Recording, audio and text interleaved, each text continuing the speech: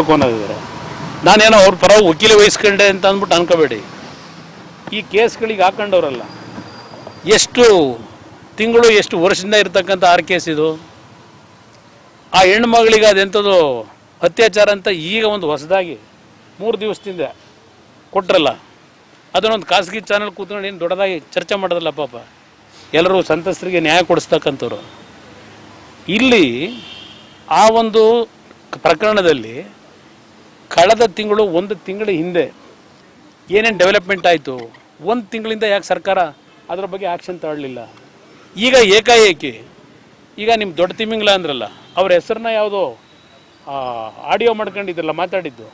ಅದನ್ನು ಬಿಟ್ಟರು ಅಂತೇಳಿ ಪಾಪ ಮತ್ತೆ ಅವನ ಮೇಲೆ ಕೇಸ್ ಹಾಕಿ ಕೂರಿಸಿದಿರಿ ಈಗ. ನೀವು ನಿಜಕ್ಕೂ ಸರ್ಕಾರದಲ್ಲಿ ನ್ಯಾಯ ಕೊಡ್ತೀರಾ ಜನಕ್ಕೆ?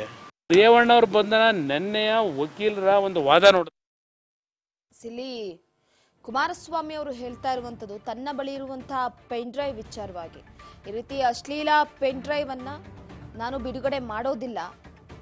ಭ್ರಷ್ಟಾಚಾರದಲ್ಲಿ ಏನು ತೊಡಗಿದ್ದಾರೋ, ಅದರ ಜೊತೆಗೆ ಕಾಂಗ್ರೆಸ್ನಲ್ಲಿ ದೊಡ್ಡ ತಿಮಿಂಗಿಲ ಇರುವವರು ಕೂಡ ಈ ಒಂದು ಅಕ್ರಮದಲ್ಲಿ ಭಾಗಿಯಾಗಿದ್ದಾರೆ.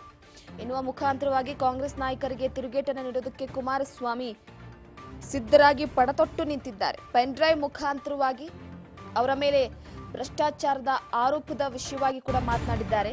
ರಾಜ್ಯದಲ್ಲಿದೆ ದೊಡ್ಡ ತಿಮಿಂಗಿಲ ಎನ್ನುವ ಮುಖಾಂತರವಾಗಿ ತಿರುಗೇಟನ್ನ ಕೊಟ್ಟಿರುವ ಮತ್ತೊಮ್ಮೆ ತಮ್ಮ ಬಳಿ ಇರುವಂತಹ ಪೆನ್ ಡ್ರೈವ್ ಬಗ್ಗೆ ಮಾಜಿ ಸಿಎಂ ಎಚ್ ಡಿ ಕುಮಾರಸ್ವಾಮಿ ಅವರು ಪುನರುಚ್ಚರಿಸಿದ್ದಾರೆ. ಆ ತಿಮಿಂಗಿಲ ಯಾರೆಂದು ರಾಜ್ಯದ ಜನರಿಗೂ ಗೊತ್ತಿದೆ. ರಾಜ್ಯದಲ್ಲಿದೆ ದೊಡ್ಡ ತಿಮಿಂಗಿಲ ಎನ್ನುವ ಮುಖಾಂತರವಾಗಿ ಕುಮಾರಸ್ವಾಮಿ ಅವರು ಪೆನ್ ಡ್ರೈವ್ ವಿಚಾರ ಮುಂದಿಟ್ಕೊಂಡು ಮತ್ತೆ ವಾಗ್ದಾಳಿಯನ್ನ ಶುರು ಮಾಡಿದ್ದಾರೆ. ನನ್ನ ಹತ್ತಿರ ಇರುವಂತಹ ಪೆನ್ ಡ್ರೈವ್ ಅನ್ನ ನಾನು ಬಿಡ್ತೀನಿ. ನಾನು ಅವತ್ತೇ ಹೇಳಿದ್ದೆ ಆ ಪೆನ್ ಡ್ರೈವ್ ಹೊರಗೆ ತಂದ್ರೆ ಕೆಲವೊಂದಿಷ್ಟು ನಾಯಕರು ರಾಜೀನಾಮೆಯನ್ನ ಕೊಡಬೇಕಾಗತ್ತೆ ಅಂತ ಹೇಳಿದ್ದೆ. ಪೆನ್ ಡ್ರೈವ್ ಬಗ್ಗೆ ಮತ್ತೆ ಎಚ್ ಡಿ ಕುಮಾರಸ್ವಾಮಿ ಅವರು ಪುನರುಚ್ಚಾರಣೆ ಮಾಡುವ ಮುಖಾಂತರವಾಗಿ ವಾಗ್ದಾಳಿಯನ್ನ ನಡೆಸಿದ್ದಾರೆ. ರಾಜ್ಯ ಸರ್ಕಾರಕ್ಕೆ ಸಂಬಂಧಿಸಿದ ಪೆನ್ ಡ್ರೈವ್ ನನ್ನ ಬಳಿ ಇದೆ ಅಂತ ರಾಜ್ಯ ರಾಜಕೀಯದಲ್ಲಿ ಸಂಚಲನವನ್ನ ಮೂಡಿಸಿದ ಎಚ್ ಡಿ ಕುಮಾರಸ್ವಾಮಿ ಅವರು ಇದೀಗ ಮತ್ತೆ ಪೆನ್ ಡ್ರೈವ್ ಬಗ್ಗೆ ಪುನರುಚ್ಚಾರಣೆ ಮಾಡಿರುವಂಥದ್ದು ಮತ್ತೆ ಕುತೂಹಲಕ್ಕೆ ಕಾರಣವಾಗಿದೆ. ನನ್ನ ಹತ್ತಿರ ಇರುವಂತಹ ಪೆನ್ ಡ್ರೈವ್ ಅನ್ನ ಬಿಡ್ತೀನಿ. ನಾನು ಅವತ್ತೇ ಹೇಳಿದ್ದೆ.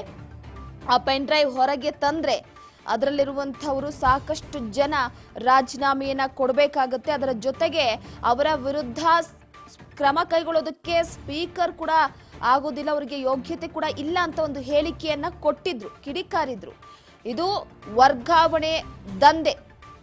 ಸರ್ಕಾರದ ಲೂಟಿ ಅಂಥವುಗಳ ಬಗ್ಗೆ ನನ್ನ ಹತ್ತಿರ ಇರುವಂತಹ ಪೆನ್